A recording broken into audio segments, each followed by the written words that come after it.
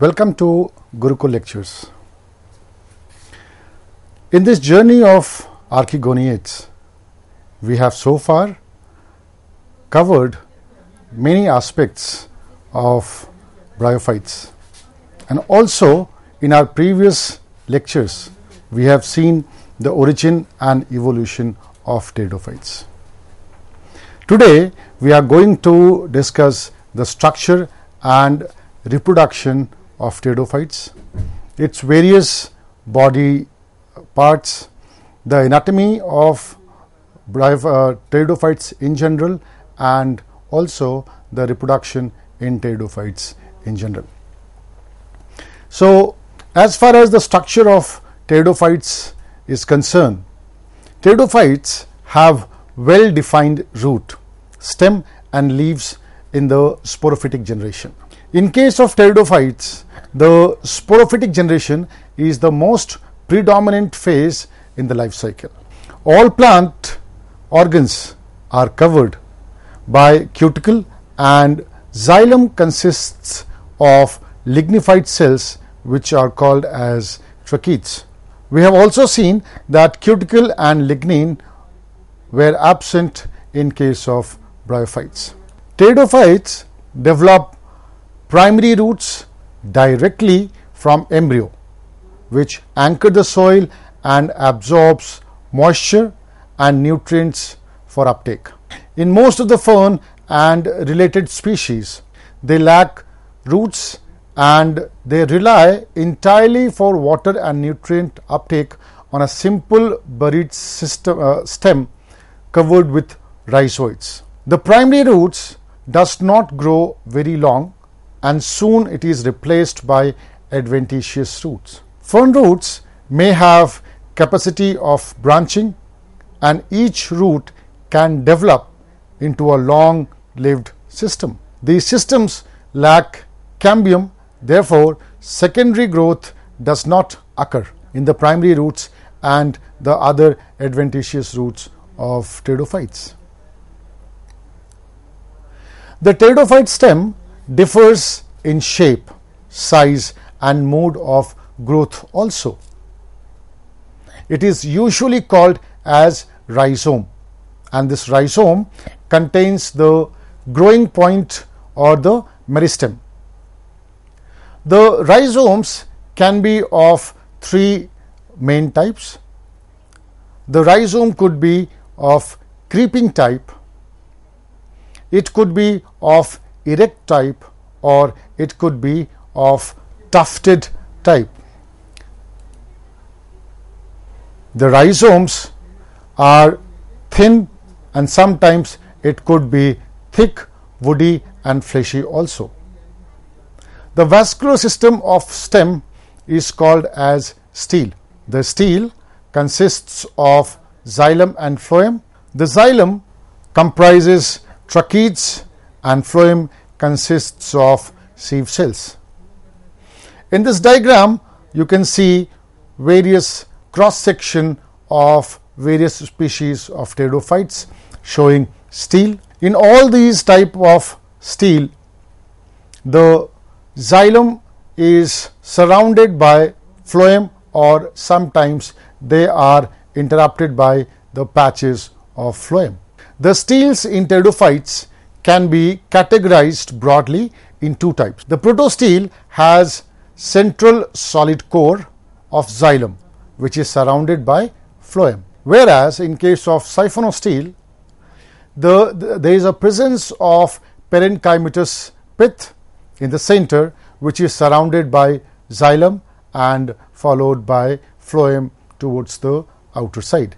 If we could describe these two types of stele diagrammatically, we could see that the protostele lacks any kind of pith in the center. So, the central portion is occupied by xylem tissues and it is surrounded by phloem tissues. These steles could be of different shapes and different arrangements. For example, here in case of actinostele, it is almost a star like appearance, whereas in case of plectostele, the xylem and phloem is found in patches and bands. On the contrary, in case of siphonostele, there is a universal presence of pith. In the center of the stem lies parenchymatous tissues and these parenchymatous tissues are termed as pith tissues. Surrounding these pith tissues are found xylem and phloem. These xylem and phloem tissues can be found arranged in a circle or they could be found arranged in patches. As you can see here, there are, in, uh, are examples of solenostele, dictyostele and eustele which are, which are found in uh, pteridophytes. Now, let us talk about leaves. The fern leaves are also called as fronds. Young fern leaves are called as fiddlehead or crozier which is coiled just like the spring of a clock. This type of vernation is known as circinate vernation. Vernation is basically the arrangement of young budding leaves at the apical portion of any stem. So, all the pteridophytes they and especially the fern leaves they show a unique uh, kind of vernation and this structure is also sometimes referred as crozier and the vernation is termed as circinate vernation. The leaf can be subdivided or could be studied by dividing this whole leaf into various parts. This entire leaf is termed as frond in case of pteridophyte fern. A frond has two parts, the lower or the basal petiole which is also termed as leaf stalk and the upper laminated or laminar structure which is called as the blade. In case of ferns, the fronds could be pinnate type or it could be bipinnate type. In case of pinnate type, the pedicel also sometimes called as stipe, it bears multiple leaflets, multiple lamina and the structure on which these lamina are borne they are termed as rachis. These lamina could be a single structure in that case the fronds are called as pinnate frond, frond and if they are further subdivided they are termed as bipinnate or subsequently multipinnate fronds. In fern and related species, they differ with the ferns that they do not have distinct fronds. In other pteridophyte species, their leaves are small and they are known as microphylls or they are linear as in the case of isoetes which has a single vein and they are arranged along simple and branched stem. The leaf as we have already discussed has three parts the stipe which is the basal portion or the pedicel, the lamina and the rachis. The rachis is the elongated part on which lamina are born. The stipe is the junction part of leaf which arises from rhizome and connect rest of leaf part. The lamina or the main blade of leaf is the green leaf part uh, of the leaf which is photosynthetic in nature and responsible for all the assimilation and photosynthetic activity. The rachis is the middle stalk which is comparable to the midrib of any angiospermic leaf. So, if we have to uh, describe the structure of a fern, it could be basal rhizome which is uh, originally a stem which gives rise to roots, roots adventitious and they are branched into small rhizomes. On the nodes of rhizome arises all the fronds. These fronds are attached with rhizome with the help of a small pedicel or stalk which is called as type. This entire portion of the uh, frond is called as blade and the midrib like structure on which pinna lamina are arranged they are called as rachis.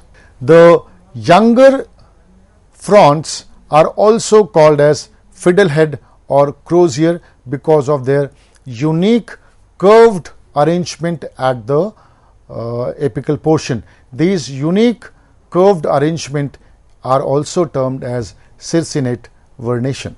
As far as the fertile parts in pteridophytes are concerned, the fern fronds have simple and compound leaf. Pteridophytes reproduce by spores which are unicellular structures. These spores are produced by meiotic division in specialized structure called as sporangia. A sporangium is an enclosure in which spores are formed. It can be composed of a single cell or can be multicellular. Sporangia can be terminal that is on the tips or lateral that is they are they can be placed along the sides of stem or they could be associated with leaves. Uh, the various positions of sporangia can be seen here in this diagram where sometimes they are lateral in position, sometimes they are, they are axial, uh, they could be terminal in position also or they could be found on the underside of fronds or leaf lamina. In majority of fern, sporangia are smaller, clustered and distinct. These small clustered and distinct groups are called as sori. Each sporangium is attached to the frond by uh, the help of a short stalk. So, here in this frond on the lower side there are cluster of sporangium. These cluster of sporangium are termed as sorus or sori which is the plural form. Each sorus has multiple sporangium and these sporangium bear spores within themselves. Most pteridophytes are homosporous.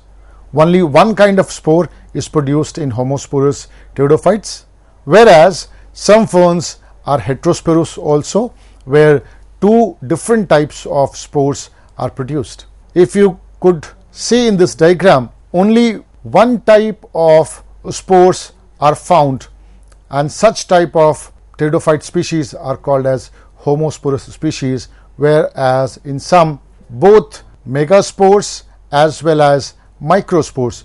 Here you can see the megaspores which has large spores, 4 in number in one sporangium, whereas in case of microsporangium, multiple spores smaller in size are found enclosed in one particular uh, sporangium.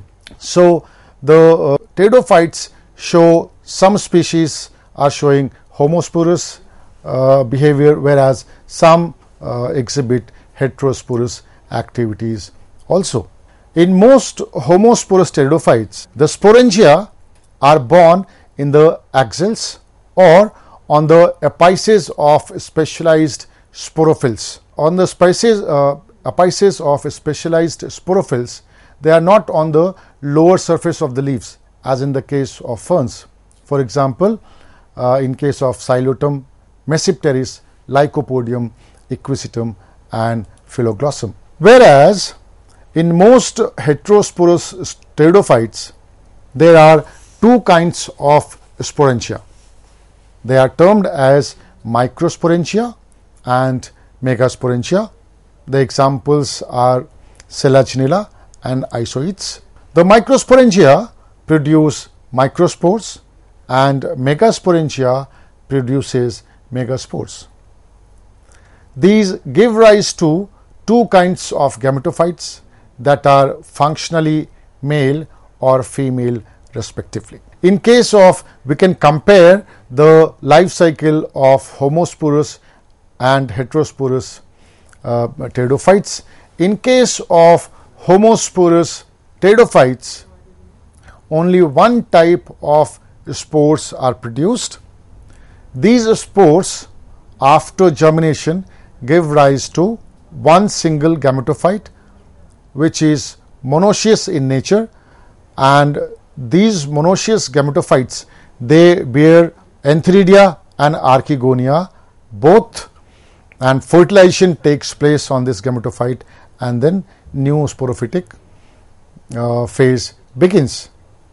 In case of heterosporous pteridophytes, two different types of spores are born that is microspores are born by microsporophylls whereas megaspores are born by megasporophyll. These two different types of spores give rise to two different gametophytes. The lower the smaller spore gives rise to male gametophyte whereas the larger spore or megaspore gives rise to female gametophyte. The female gametophyte bears archegonia on which the motile spermatozoites and sperm cells they come and fuse the egg cells and from this female gametophyte arises the sporophytic generation in pteridophytes. So, both homosporous and heterosporous pteridophytes they also differ in their life cycle. In ferns, sporangia are typically found on the abaxial surface that is the underside of the leaf and are densely aggregated into clusters. These uh, densely aggregated clusters they are called as sori. In some, in some species, they are protected during development by a scale or film of tissue called as indusium. These indusium form an umbrella like cover. These indusium could be of two types. They could be true indusium or they could be a false indusium. A false indusium is an extension of the uh, epidermis of leaflet and it extends to cover the growing bunch of sporangia. Whereas, the true indusium it arises from the lower epidermis or the abaxial side of frond and they divide their cells and form specialized coverings to protect growing sporangia on both the sides.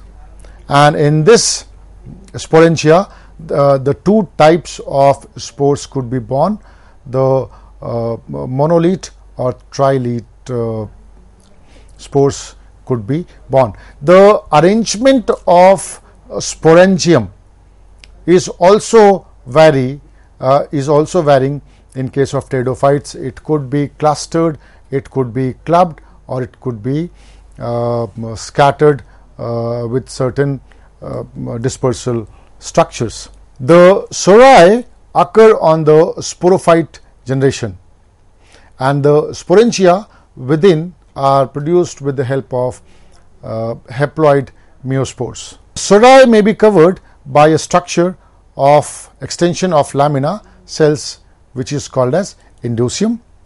Some ferns have their sporangia scattered along the margin of the leaves. And in case of lycophytes, the sporangia are born uh, on the adaxial surface that is the upper side of the leaves or sometimes laterally on the stem.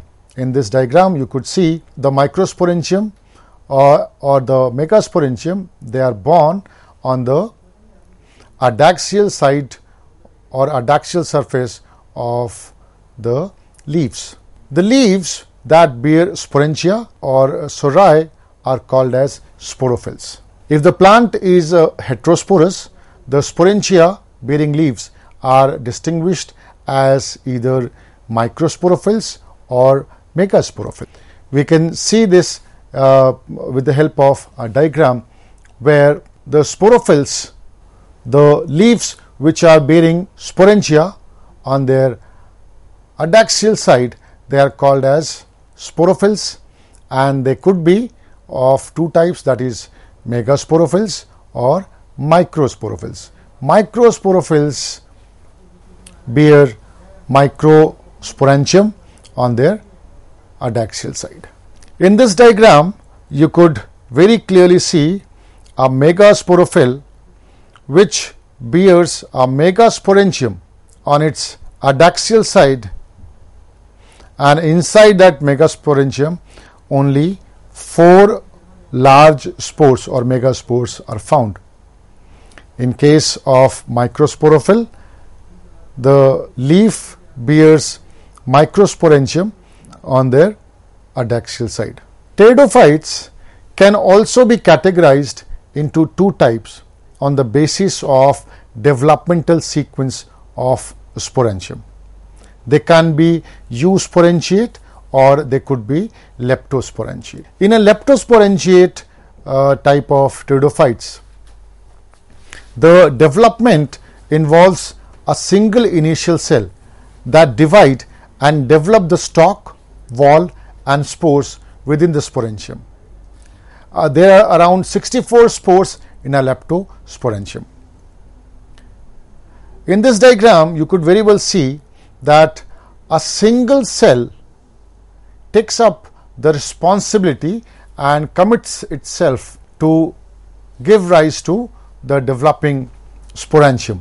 So, this one cell divides into two cells and then the upper cell uh, divides into various planes giving rise to the sporangial wall and uh, sporogenous cell inside and these sporogenous cells divide to give rise to spore tetrads.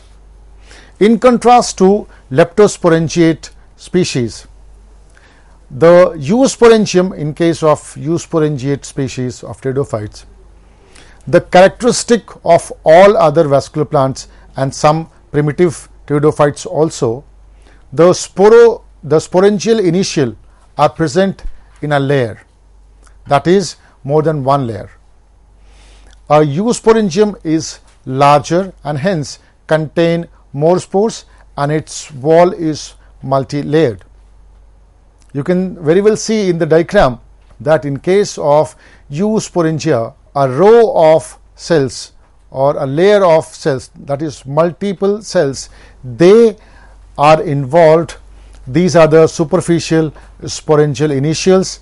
They uh, develop sporangium wall and within this sporangium wall are produced uh, uh, tapetal layer and these tapetal layers are responsible for the nutrition of sporocytes and ultimately the spores uh, spore tetrads are formed.